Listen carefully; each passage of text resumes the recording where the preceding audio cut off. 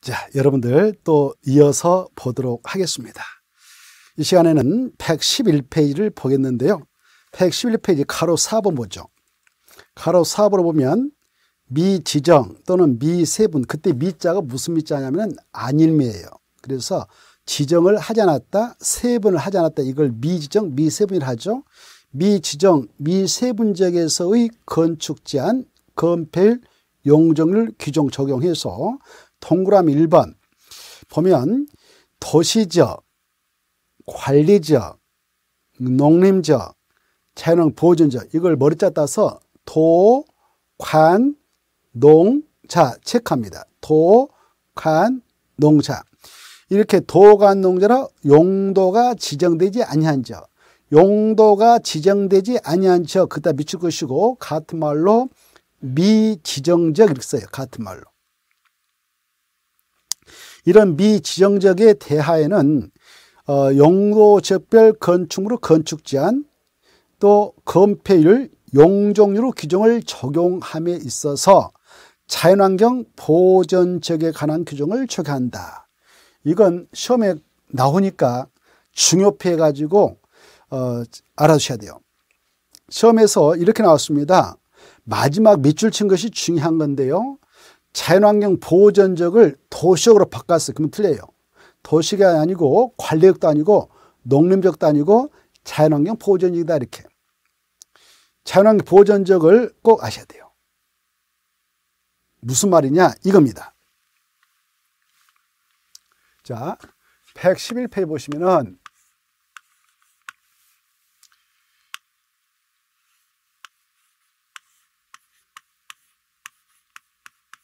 미지정 지역에서의 건축으로 건축 제한하고요.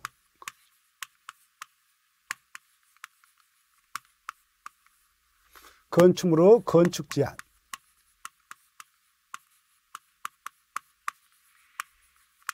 그리고 이 건축물 건축할 때 정도는 건폐율 또 용적률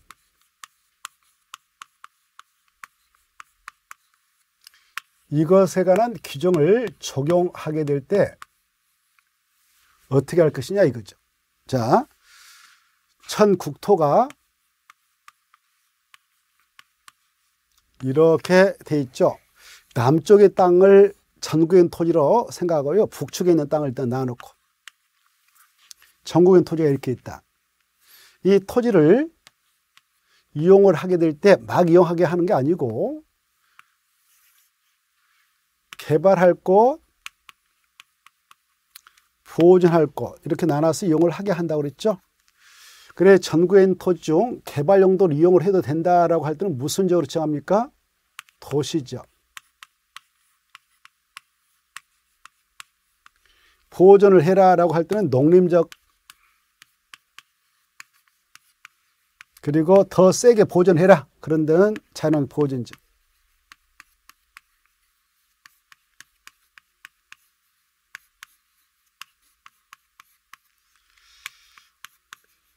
그리고 완충지대로서 관리적이 증된다고 그랬죠? 이렇게. 이렇게. 이쪽으로 내려가면 갈수록 보존성이 세요. 올라오면 갈수록 개발이 용해요. 그렇죠? 그래 이 전국토를 다시 변형해서 이렇게 생겼다 합시다. 이걸 변형시켰어요. 이렇게. 그래 전 국토는 이와 같은데 이 국토를 이렇게 이, 여기까지는 도시적으로 이용해도 되고 여기까지 관리적으로 이용해라. 여기는 농림적으로 여기는 자연환 보존으로 이용해라. 이렇게 딱딱 용도를 지정했습니다. 이렇게 용도적이 지정됐는데 이거 지정할 때 막 한다고 그랬어요? 도시 군가로 결정해서 한다고 그랬어요. 도시, 군, 관리계 이걸로 입안해 가지고 계획을 결정해서 한다고 그랬죠? 그래 전국엔 토지 이게 전국엔 토지 이 네 가지 용도적 중 어느 하나로 다 지정됐느냐? 이렇게 도시적이다, 관리적이다, 농림적이다, 채널 보존지다라고 지정되어 있는 토지가 있는 반면 아직 네 가지 중 어느 하나로도 용도가 지정되지 않는 지역이 있습니다. 그래 용도 지역이 지정이 안 됐다 이걸 안일미에서 이 지역을 미지정적 그래요. 이렇게 미지정적. 그래 전구엔터는 모두 다 이렇게 네 어느 하나로 다 지정되어 있다. 그건 틀려요. 아직 이 도시 군가로 입안해서 결정해 가지고 이런 용도를 정해 나가야 되는데 행정력이 미치지 못해서 아직 네 가지 용도적 중 어느 하나로 용도가 지정되어 있지 않는 적도 있다. 그런 적을 약속을 뭐라 한다고요? 미지정적 이렇게 아시겠죠? 여러분이 만약 토지를 가지고 있는데 또 중개를 해주려고 하는 토지가 있는데 알고 봤더니 농림적이 있다. 아니면 자연환경 보존이 있다. 그러면 이 농림적에 있는 토지를 가지고 건축물을 건축할 때의 내용 제안받죠. 그 건축물 건축 할 때 건폐를 적용받죠. 용적률 적용받죠. 이미 전 시간에 공부했죠. 어, 이 농림장 안에서 건축할 수 있는 건축물 이런 것만 건축해라라고 그 국토개법 시행령 71조에서 아까 봤죠. 농가 주택, 의가주택, 주택 질 수 있다 이런 거 했고 그런 건축 건축할 때 건폐율은 바로 20% 이하만 인정하겠다 했고 용적률은 80% 이하만 인정하겠다 그랬죠. 만약 이 토지가 이 자연환경 보존이 있다면 자연환경 보존자 안에서 건축으로 건축 제한, 건폐 용적률 규정을 정하면 되는 것이죠. 이 대지가 자연환경 보존적이 있다. 그러면 이 대지에 따라 건축으로 건축 제한, 건축으로 건폐율, 용적률은 자연환경 보존적이라는 자연환경 보존적, 자연환경 보존적에 관한 규정을 그대로 정하면 되겠죠. 그래 건축물 건축 역시 이것도 우리가 시행령 71조에서 공부했죠. 어, 농어가 단독택하고 초등학교 지을 수 있다 이런 게 했고요. 건폐율은 20% 이하, 용률은 80% 이하만 적용해라 그랬죠. 이렇게. 그러면 이 여러분이 가지고 있는 토지, 중개를 해 주려고 하는 토지가 만약 여기에 있다고 가정합시다. 어, 용도가 아직 지정되지 않는 이 지역에 있다. 그러면 여기 있는 땅에 따는 아직 용도가 결정나지 않았다 해서 건축물 건축 못할까요? 아닙니다. 할 수 있습니다. 이게 중요해요. 할 수 있다. 그러면 어떤 용도의 건축물을 건축하면 되느냐? 이 도시에 허용되는 것 no. 자연환경 보존지역에 허용되는 것 no.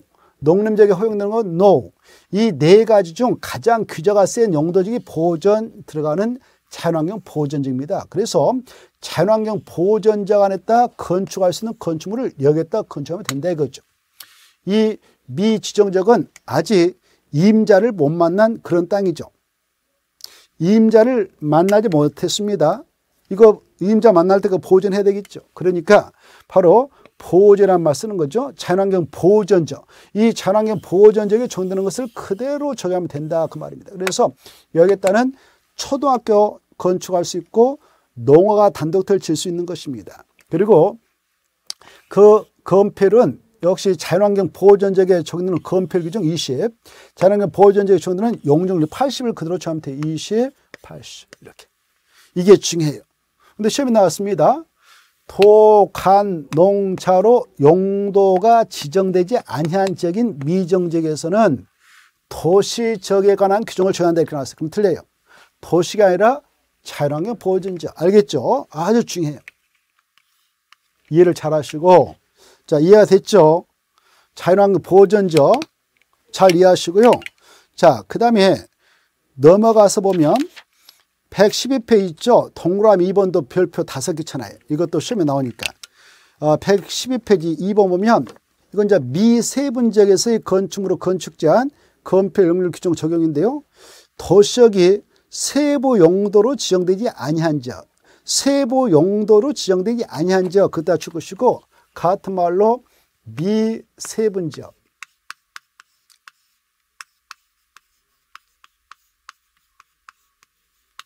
이렇게 써요.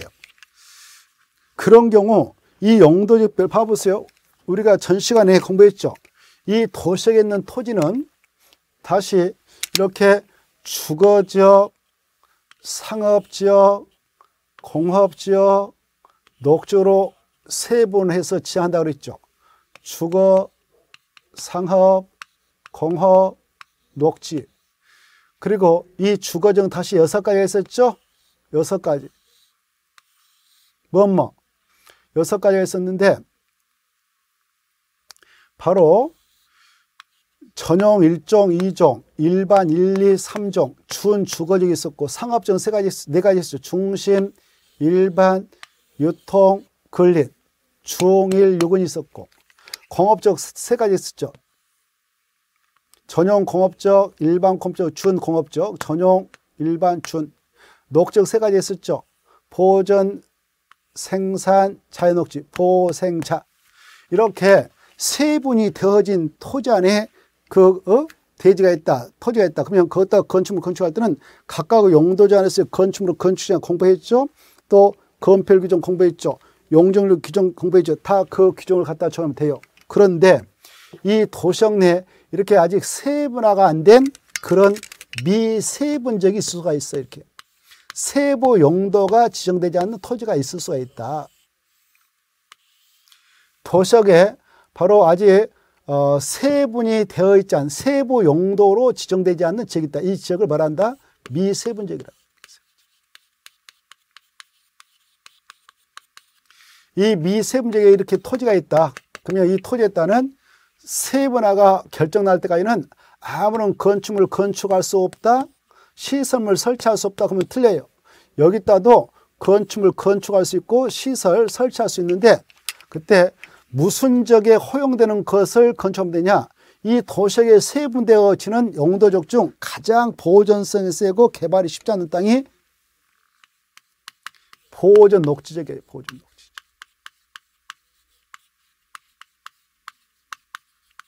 그래서 이 미세분적에서도 이 보존 녹지가 난그 건축물로 건축 제한 규정을 적용하고 그리고 보존 녹지의 정도는 건폐 규정을 그대로 적용하고 보존 녹지 규정들은 용적이라는 규정을 그대로 정해서 그 건폐를 20, 용률을 80을 그대로 정하면 돼요. 이렇게. 다시 한번 정리합니다. 거기 보면은 같이 봅시다. 도시역이 세부 용도로 지정되지 아니한 경우 그러면 뭐라고 한다? 미세분적. 미세분적인 경우에는 용도지별 건축물 건축 제한, 건축물의 건폐율, 용적률 규정을 적용함에 있어서 무슨 적에 관한 규정을 적용하고 그것다 딱 내붙여요. 보전 녹지역. 중요하죠. 보전 녹지에 관한 규정을 정한다. 그 다음에 또 여기요. 관리역도 세분되잖아요. 어, 계획관리적, 그 다음에 농림적 근처 생산 관리적, 그 다음에 자연보전지의 보전관리적. 그래, 보전관리적, 생산 관리적, 계획 관리적 이렇게 관리적에 세 가지를 쓰면 되는데 그러나 이 관리적에 있는 토지도 보생계로 아직 세부 용도가 정해지 않는 그런 토지도 있어요. 이걸 아직 정해지 않았다. 그래서 미세분적이라고 그래요. 이렇게 관리역 중에서도 미 세 분적의 토지가 있다. 여기 토지가 있다. 이렇게 토지. 이런 토지에 따른 건축물, 건축물을 건축할 수 없을까? 건축물을 건축할 수는 있습니다. 이렇게 건축할 수 있는데 무슨 적에 관한 규정을 정하면 되냐? 보생계 중 어느 지역이 가장 보존성이 셀까? 보전 관리적이죠. 그래서 보전 관리적에 건축할 수 있는 건축물 여기에다 건축해도 돼요. 보전 관리적의 정도는 건폐를 여기다 적용해요. 용적률, 보전 관리적의 정도는 용적을 여기다 적용해서 이용하면 돼요. 그래서 이 관리적 내 미세분 지역에서의 건축물을 건축 제한, 건폐 용적률 규정을 정할 때는 무슨 제가 관한 규정을 정하느냐? 보전 관리적. 이 내용은 시험에 나온다 생각하면서 잘 이해하고 정리를 해 두셔야 돼요. 자, 이제 정리합니다. 그래 이제 그거 보면 관리적이 세부 용도로 지정되지 아니한 경우에는 그 용도별 건축물로 건축 제한, 건폐 용적률 규정을 적용함에 있어서는 보전 관리에 따라 내묻혀요. 보전 관리에 관한 규정을 적용한다. 그때 보전 관리액의 건폐율은 20% 이하, 용적률은 80% 이하인데 그걸 적용하면 돼요. 자, 그래서 정리하면은 자, 이 천국토, 천국토 중 아직 용도가 정해지지 않는 미지정적에 있는 토지가 있다 그러면 그 용도가 정해질 때까지는 무슨 적에 관한 규정을 적용해서 하면 되냐? 자연환경 보전적 도시역 내 아직 세부 용도가 정해지지 않는 미세분적에 있는 토지는 무슨 적에 관한 건축으로 건축 제한 규정, 건폐 규정, 용률 규정을 정하냐? 보전 녹적 관정 내 세부 용도가 증되지 아니한 경우 그 미세분적에서의 건축물로 건축 제한, 건폐 규정, 용적률 규정을 정할 때는 무슨 적에 관한 규정을 정하냐? 보전 관리적. 정리하니까 이렇게 되죠.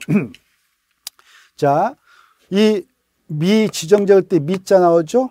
도성 내 미세분적일 때 미자 나와 있죠.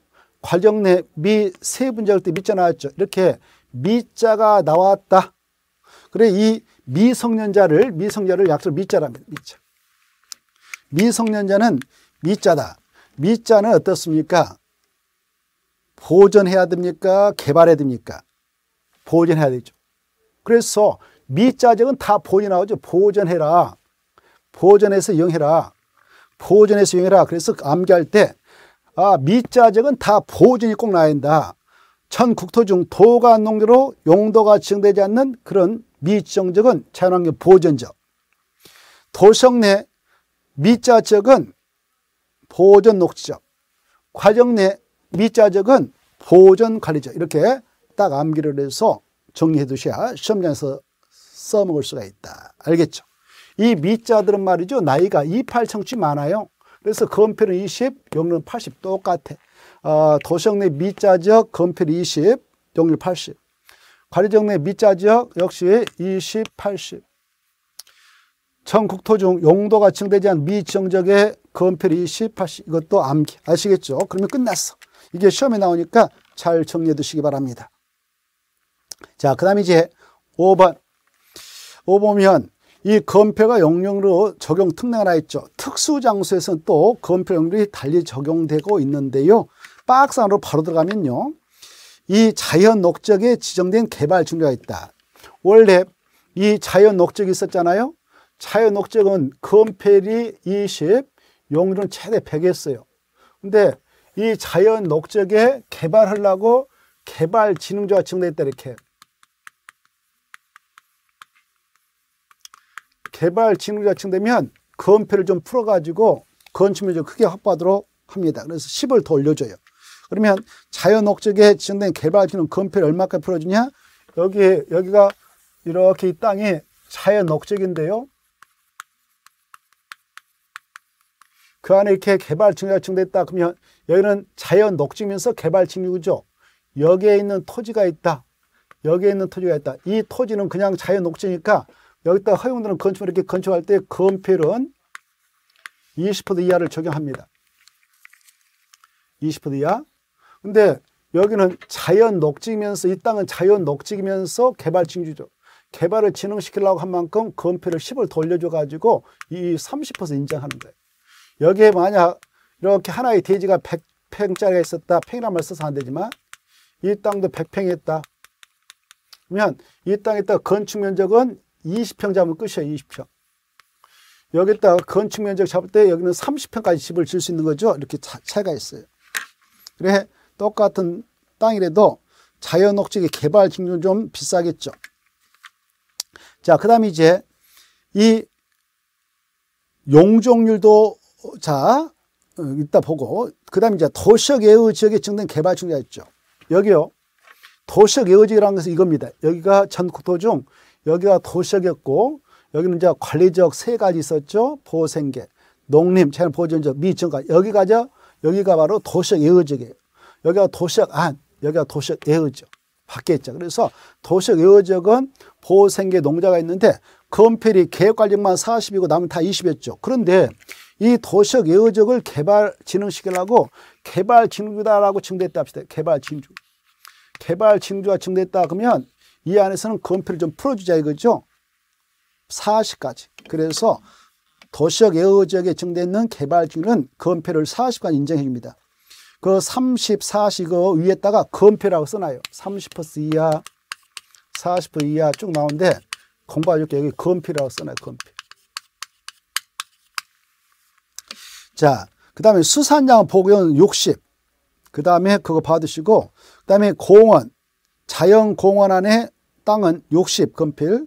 그 다음에 칠학주구가 있는데요. 이 칠학주는 자연칠학주입니다. 그래서 자연칠학 60% 이하.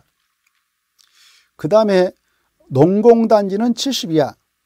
70% 이하. 그 다음에 공업적의 국가 일반 도시첨단 산업단지 준산업단지가 지정되어 있다면 원래 공업용 건필이 70밖에 안 되는데 산업단지는 4개 산업단지는 80까지 인정해 주겠다 이거죠. 오른쪽 넘어오셔서 바로 오른쪽 박스 위에 있다는 용적률 이렇게 써놔요. 오른쪽에 박스 있죠. 도시적 예우적에 증되어 있는 개발 징조, 도시적 예우적 아까 말씀드렸죠. 여기에 개발 징조가 증되어 있다. 도시적 예우적은 보전, 생산, 계획관리적, 농림적, 자연 보전적, 미지정적 있는데 계획관리만 건필이 100이었고 남은 다80 이하의 것만 그러나 여기 도시적 여지 이렇게 개발 증가가 증대했다. 개발 증가가 증대면 개발을 진행시켜서 용률을 100까지 인정해 주겠다 이거죠. 그래 아까 도시적 예어적에 이렇게 개발 증가가 증대면 여기 도시적 예어적에 개발 증가가 증대했다. 개발 증가가 증대면 건폐는 40% 이하까지 인정하고요. 용률은 100% 이하까지 인정했죠. 이걸 개사배 이렇게 암기하세요. 개사배, 개사배. 아까 이 계획관력 그 자체가 건폐율은 개사비였죠. 계획관력도 건폐율은 개사비였습니다. 건폐율 40% 이하, 용적률 100% 이하. 그래서 계획관력은 개사백이다. 그랬어. 개사백. 개사백. 암기하세요. 어, 계획 관리의 건폐율이 얼마냐? 그러면 개사백. 건폐율이 40%야. 용률 100%야. 도시적 예어적. 여기가 도시적 예어적인데 도시적 예어적에 지정된 개발층도 개사백. 그래 도시적 예어적이 개가 나왔다 면 개사백, 개사백 이렇게 하면 되겠죠? 자, 그 다음에 이제 수산양 보고요. 이 수산양 보고는 다음에 우리가 공부하는데 이 바다가 공유수면이에요. 바다를 공유수면이라는데 여기가 육지고요. 이 공유수면 바다에서 수산장 보호 육성차 공유수면하고 그에 인접한 토지에다 이렇게 수산장 보기다 일반 조치합니다. 이렇게 수산장 보기다라고 지정하게 되면 이 자연환경 보존적 땅이 지정됐다 하면 여기 수산장 보호를 묶이죠 이렇게. 그러면 이 수산장 보기 안에서는 건폐를 얼마까지 풀어주냐? 40. 왼쪽에서 아까 했죠. 수산장 보고 40이라고. 용률 얼마를 인정하냐? 80. 그래서 이 수산장 보고액은 음, 바로 건폐는 40, 용률은 80을 적용합니다. 이것도 기억을 하실 때 수산장 보호에 이렇게 정되어 있다. 그러면 그 안에 딱 허용되는 뭐 어민들이 살 수 있는 주택진다 그러면 건폐는 40, 용률은 80. 이걸 정해요. 이걸 암기할 때 수, 사, 팔 이렇게 합니다. 그래 수사팔, 수사팔. 형사가 범인을 잡기 위해서 수사를 하죠. 그때 수사를 하는 형사가 팔팔 해야 됩니까? 백을백을 해야 됩니까? 뻔한 거 아니에요. 백을백을 어떻게 범인하고 해가지고 잡을 수 있습니까? 그래서 나와있죠. 그래 똑같은 경찰이라도 형사계로 발령을 낼 때에는 경찰서장이 바로 팔팔한 사람을 형사계로 투입시킵니다. 백을백한 사람 그냥 그냥 순찰을 하라고 하고 말이죠. 이렇게 아무튼 자 아, 그래 형사계 그 형사들은요 얼굴 모습 자체가 꼭 깡패 같이 생겼어요. 아무튼 그래 그래 가지고요 아무튼 팔팔해 이렇게 꼭 그런 건 아니고 그냥 혹시 경찰계에 몸담고 계신 분들 어, 꼭 그런 건 아니고 아무튼 그렇다는 거. 자, 그래서 수사팔, 수사팔 이렇게 좀 암기하세요. 암기법. 수사팔, 수사팔, 수사팔. 그래, 수사냐 보호구역은 건폐는 40, 용률은 80 이하다 이렇게 좀 알아주십시오. 자, 그 다음에 이제 어, 밑으로 가셔서 나머지 통과도 되겠네요. 그 정도만 보시고 그 다음에 이제 넘어가서 보시면은 시험 공부로서 이 나머지는 보지 않아도 돼요. 넘어가서 보면은 115페이지가 나옵니다. 115페이지 동그라미 5번만 가볍게 봅시다. 도시 군객시설 중 유원지, 공원, 건폐를 좀 봅시다. 이 자연 녹적이 원래 건필이 20밖에 안 되는데요. 여기 자연 녹적 있었죠? 자연 녹적 있는 여기가 자연 녹적이다.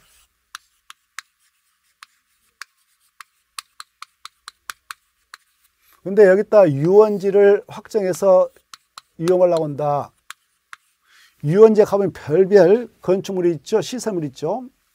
또 거기에 공원이 그 도시 군객설이 결정 났다. 그때 여기다 뭐 건물 질 수도 있겠지 이렇게. 이렇게. 그 안에 있다 이런 건축물 시설물 건축할 때에 적용되는 바로 건폐를 얼마를 풀어주냐 이거죠. 이 자연 녹적의 도시 군객설 일종의 유원지라든가 공원 내에다가 건축물 세울 때에 건폐는요 유원지 보세요. 유원지는 몇 자인가요? 세 자죠. 그래서 원래 자연 녹지는 건필이 20% 이하밖에 안 되는데요. 유원지는 세 자니까 건필을 30까지 풀어주자 이건. 자연 녹적의 공원 장소는요. 그 공원이 몇 자예요? 두 자죠. 그러니까 20% 그대로 그냥 하자 이거죠.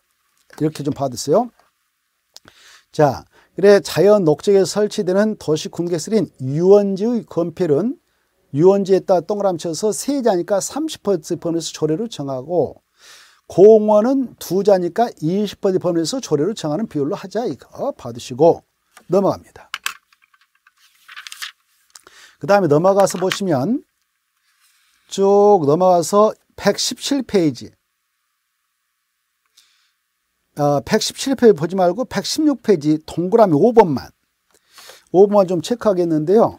5번 보시면 공공시설, 공공시설이라고 하는 것은 도로, 공원 이런 것들이죠. 공공시설이 이런 것들을 자 이렇게 이렇게 이 땅 이렇게 A가 땅을 가지고 있었는데요. 땅 일부를 공원 조성하세요라고 땅을 기부채나 내놨어요. 이렇게 내놨습니다. 그러면 이 땅값 보상 받아가라 그랬는데 안 받아 그냥 공짜 바쳐버렸습니다. 우리 국민들 시민들 위해서. 이걸 기부 체납이라 하죠. 기부 체납했다. 그러면 어때요? 여기다 허용되는 건축물 건축하는 이 사람 이렇게 건축물 건축할 때에 야 이거 내놨으니까 너 인센티브 주겠다. 좀 받아가라. 그래서 용적률을 좀 풀어줘요. 용적률. 용적률 풀어서 좀 특혜를 줍니다. 땅 내놨다 그러면 내놓은 만큼 혜택을 줘야 되지 않겠습니까? 그게 바로 용적률을 좀 풀어서 인센티브를 주는데요. 얼마까지 풀어줄 수 있냐? 최대 해당 용도적에 적용되고 있는 것에 200% 이하까지 완화해 줄 수가 있다. 200을 기하세 200. 얼마까지 용도를 풀어줄 수 있다고요? 200까지. 근데 이렇게 공원 같은 공공설 설치 부지로 기부 체납했다. 뭐 도로 부지로 내놨다. 여기 도를 이렇게 설치하려고 하는데 이렇게 공원 들어가기 위해서 공원 들어가기 위해서 도로 설치하려고 하는데 이것도 내놨다. 그러면 여기다 허용된 건축 건축할 때 좀 건물 크게 지도록 용도로 풀어주는 거죠. 그 용도적이 적용되고 있는 것에 200%까지 풀어주겠다 이거죠. 근데 이 내놨던 이 땅이 말이죠. 차 시골에 땅값 거의 나가지 않는 차기 농림적에 있는 거, 또 녹적에 있는 거 이걸 내놓고 나도 인센티브 200%까지 용률 완화받고 싶어요. 이거 안 돼요. 좀 비싼 땅을 이렇게 공공설부지로 기부 체납해야 되지 싸디 싼 땅 누가 쳐다보지 않는 거 내놓으면 그때는 받아주지 않아요. 그러면 어느 지역에 있는 땅을 내놓을 때 이렇게 용적률 200%까지 완화해서 인센티브 주냐 이게 이제 중요해요.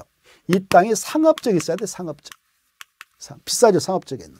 상업적에 있는 땅을 공짜로 내놓는다 이거죠 공짜로. 얼마나 고마운 친구입니까. 고마우니까 공짜 그대로 받지 않고 너도 받아가라 이거죠. 인센티브 주겠다. 이게 용적률 제공하는 거예요. 자, 용적률을 200% 이하까지 풀어주는데요. 무슨 지역에 있는 땅을 내놓다 그러냐? 바로 상업죠. 그리고 도시 및 주관경 정비법상 재개발, 재건축 사업을 하게 한 정비 여기에서만 내놓을 때 인정해줘요. 이걸 꼭 봐두시고 그래 거기도 재개발하고 재건축 사업에다 체크해요. 주관경 개선 사업하면 틀려버립니다. 그래서 주관경 개선 사업이 아니라 재개발 사업장, 재건축 사업을 하기 위한 정비가 있는 땅을 내놓을 때만 이걸 인센티브 제공해서 풀어준다. 여기까지 좀 알아주십시오. 자, 여기까지 해서 이 시간에 마무리 짓고 다음 시간에는 남은 안 봐도 돼요. 남은 안 봐도 되고 다음 시간에는 제5절 용도주를 볼 겁니다. 잠시 쉬었다가 용도주로 넘어가죠. 쉬었다 하겠습니다.